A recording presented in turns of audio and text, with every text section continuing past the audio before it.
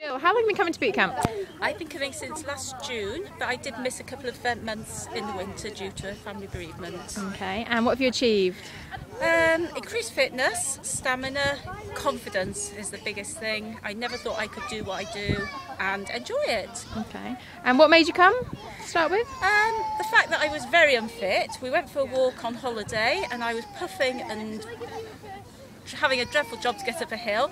My husband was really concerned. I like the fact that every session is something different. You never know what you're going to be doing, so you never get bored. I've made lots and lots of friends. There's a really nice social aspect as well. Everybody seems to get on extremely well, and we just have great fun. And on a day like today, when the sun's shining, what more could you ask for? So, um, were you apprehensive at all before you came to boot camp? Oh, I was scared to death. I drove round the block twice, and then the only reason I came was because I'd promised everybody in the family I was going to come. Okay. And yes, it was very hard work, but I got through it. And so you're glad you came? Oh, incredibly. Okay, what would you say to anyone not quite sure? Give it a go because you only know what you can do, you do what you can do, and you just work at it. Excellent.